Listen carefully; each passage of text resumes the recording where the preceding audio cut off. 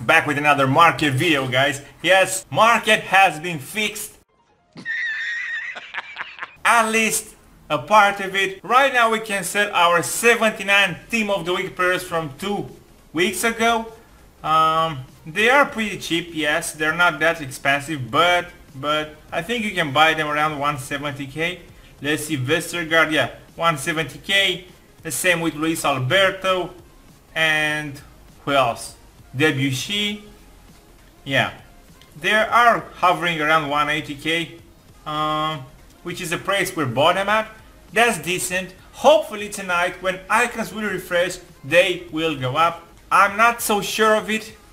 Uh, the reason for this is because 80 rated cards are crazy cheap guys. 80 rated card cards because of the team of the season cards you can find some of them below 200k guys. Basically right now it's better to buy 80 rated cards than 79 rated cards. You can snipe them for below 200k and I think below 220 or 230 you can buy them easily. Let me see below 220 yeah. Smalling easily below 215 um, there are some others as well uh, that you need to snipe to get Wanyama 214 uh, team of the season Morrison 208 Maddison my bad not Morrison Maddison. Um, so this is why I'm not sure about investing in 79 cards. Uh, people will still use them of course but but there's not gonna be that huge of a demand considering we have elite cards and we'll have more and more elite cards as time goes on because team of the season just puts in so many players guys so many team of the season players. We also have the attack mode players. I wonder how many only community team of the season players we have. I mean we have only above 83 we have like 20 of them. And we also have the ones below 83 we have lots of 80 to 82s the good thing is that at least all the players are now available to sell. 89 Ibrahimovic team of the week Ibrahimovic. What? Yeah that's not a good one 1.6 it's around 1 milli at the moment. Yep.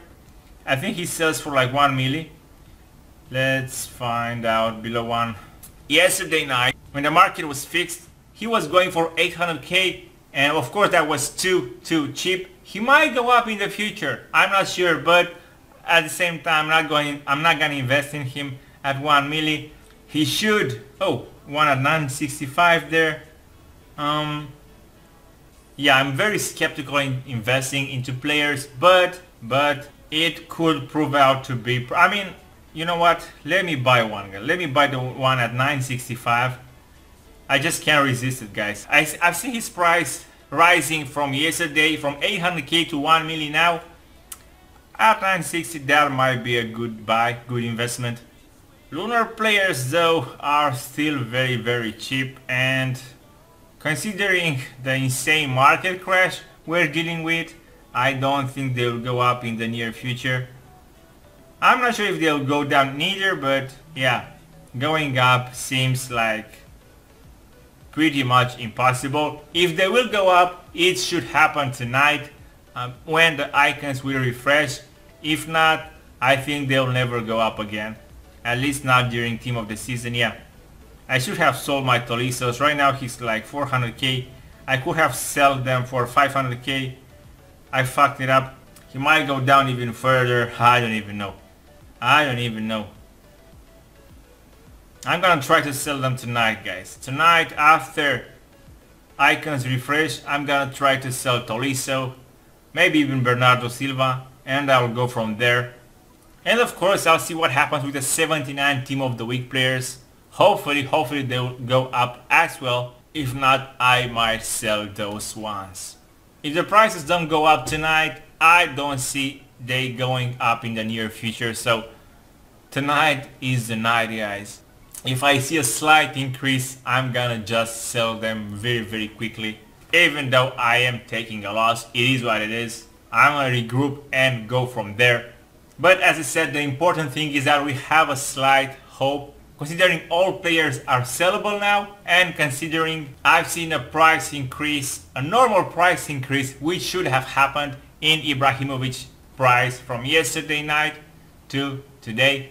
I'm not gonna talk too much about, about players with high potential to increase just because we are in the middle of a market crash and it could go much much worse in the upcoming weeks.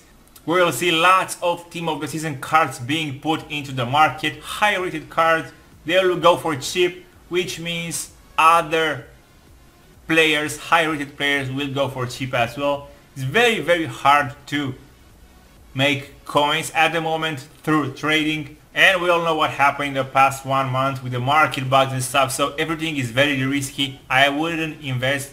If I invest I would invest in maybe one or two Ibrahimovic at below 1 milli. And if you want to snipe you can snipe. There are many many players that you can snipe below 200k elite cards.